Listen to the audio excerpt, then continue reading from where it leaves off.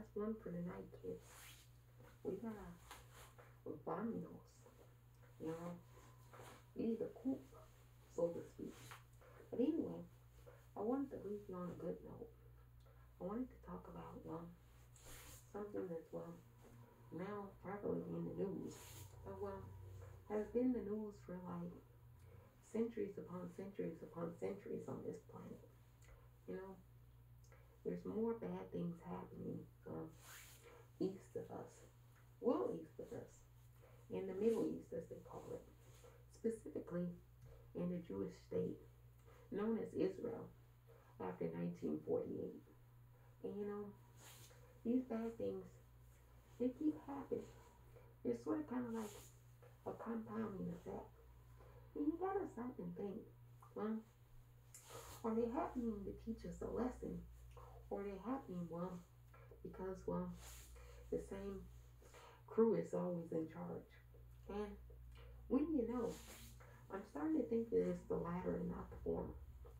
Anyway, well, this conflict started right around the independence of Israel, or the date that Israel gained its independence.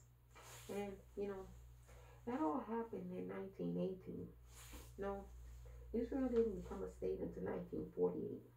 But, well, the treaty that established Israel as becoming a state happened in 1918 by the British Empire. They decreed it. And, well, wouldn't you know, if you ruled three fourths of the planet, you could decree anything. And, well, it happened. And you're like, well, how does that happen, Purple Without? Well, if you're not shooting the gunpowder horizontally and you learn how to shoot it vertically, your decrees are met with. Or, well, you just don't, you just don't, well, you're just not here anymore. Anyway, so the British Empire decreed that the state of Israel would, well, be established as conditioned upon the end of the First World War. You know, everybody's like criticizing the state, but it's not so simple in nature.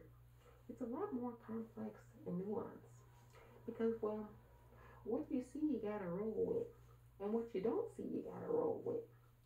Everybody's saying that, well, this is Israel versus Palestine, and well, on the surface, if you're clueless and ignorant, you would go along with some kind of assumption like that. But is it really Israel versus Palestine? Or is it the people of Israel? Is it the people of Palestine who are conducting this conflict? Or is it something more insidious and centralized and something very small in nature that's conducting the conflict, but made to appear as though it's the people? That's what you should really be asking. You know, the vast majority of the Israelis and the vast majority of Palestinians, they get along with each other. They have no issues. No, it's the governmental structure. It's the nation states. And seeing as Palestine, well, it's not a state. It's working towards a state two-state solution. Well, you have no well governance structure. You have nobody really in charge because well, Palestine, well, is being colonized and settled by Israel. That's what Israel really is a settler state, much like the United States of America and most Western nations. You know, at some point, somebody settled everything. And when you know, people went to war and fought wars. And whoever won the war took the land, took all the possessions, the gold, you know, everything. Everything belonged to the victor. That's where the saying comes from. From to the victor go the spoils of war. Something like that. Well, anyway, when you know, the Israelis or the Jewish people, they never really had to fight anybody in the actual state. They just were, well, decreed to be there. And, well, when you know, that decree was based off of, well, nobody else wanted the Jewish people anywhere else. And, well, Israel's always got, sort of kind of been like, well, the best way to put it is insurance. Kind of like insurance, as in, well, if what happened in the Second World War ever to happen again, well, Israel would be the place that Jewish people would go and, well, hide and not be, well, put into gas chambers again. Because nobody wants to be put into a gas chamber or skinned alive like what happened during the Holocaust. So, um, to give people a state, and well, if things go really, really bad, then they can run there really, really quickly. And well, that was the contractual agreement that, well, you know who the powers to be came up with. And well, it's a good agreement if you negate the people that actually live on the land that were there prior to, well, the settler colony. Sort of kind of like Turtle Island, where the Americans or the Anglo-Saxons, well, screw the indigenous people. We need the land to colonize it. And it's no longer going to be called Turtle Island. It's going to be called America, after Americus Vespucci, who discovered the New World. Only problem is you can't discover something if something already exists and people are already there. They discovered it first. But well, to the victor go the spoils of war, and you get to write the narrative. And well, that's what's happened in Israel.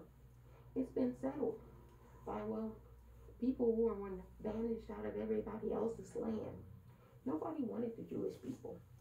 Well, um, America, for as great as America was, or said to be, they didn't even want to Anne Frank.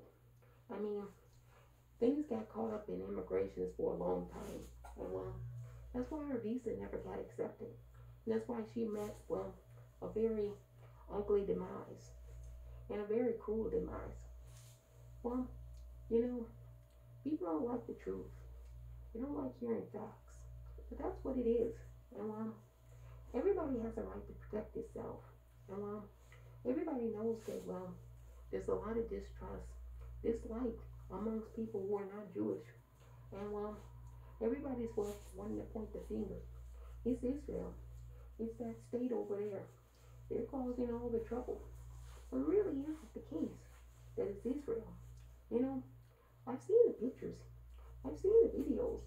Oh well, what the videos and the pictures don't tell you, or what's not obvious, is who that is out there. And well, be honest. It's a lot of men mostly all men. I didn't see any Israeli women. I didn't see any Israeli women. Isn't that surprising? If there's these loads of men, where were all the women and children? Were they at home? You know, you can only deceive for so long.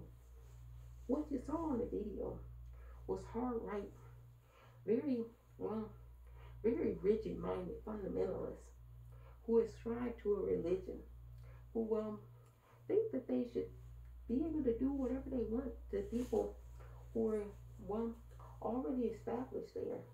And so there was some encroachment and bad feelings. And well, you know what happens when encroachment happens. People get to fighting. And well, things get petty. And well, when you know, next thing you know, there's death on the horizon. You know, that's what really happened and you had a mixture of like independence for the Jewish state and the end of Ramadan for the Muslims. And well, you know that whenever religious people get together, they can't break bread. There always has to be some type of conflict because, well, you know, they're idols. They have to fight for who has the most cult people. And so that's kind of what happened. And well, the narrative is that um, it's the state of Israel. No, it's, well, certain individuals in Israel, like Benjamin Netanyahu, who everybody knows is a reactionary racist. I mean, the dude is like bombing people and really shouldn't even be prime minister. He's like accepted bribes. He's been found guilty of all of those things. Like, the only position he can have legally in the state is to be prime minister because he's been stripped of all his other posts. What a joke. And well, when you know, I think the problem is um, a of toxic masculinity, like most of the problems on our planet. And well, I looked at the video and the footage, and I saw nothing but orthodox, extremely religious fundamentalist men chanting and screaming and conducting themselves like a bunch of clowns. You know, I didn't see any women. I didn't see Stav Shaffir. You know, I didn't see the youth. I didn't see the future. What I saw was bitter old men still wanting to fight and have crusades about things that have been yesterday's news. You know, people still want to cry over spilled milk. They want to be crybabies because, well, men, they have a problem. They have real serious problems. And they won't go and get those problems fixed. And, well, the best way to go about solving their problems is taking their aggressions out on other people. It doesn't matter the age, the gender. You just have to take their aggressions out. And usually they do it through violence. And that's what's occurring in Israel and in Palestine. And sadly, and hopefully soon, cooler heads will prevail. But you know, it needs to be a rearrangement. We need to not see so many men. We need to not see so much toxic masculinity. Be helpful is, well, if women negotiated this deal. If actually women were the ones that, well, were in charge and not the men. Men seem to be too petty, too emotional, too um, too bitchy. They can't make good deals anymore. You have people that well write books about the art of the deal, but can't get a basic deal with China, another republic. So maybe it's the case that well, men are not so good at making deals, and we need new deal makers. You know, get rid of Bibi, put in Stav Shaffir, get rid of well the old men in Palestine. Put in some young women, young Palestinian women. I'm pretty sure they can reach a deal.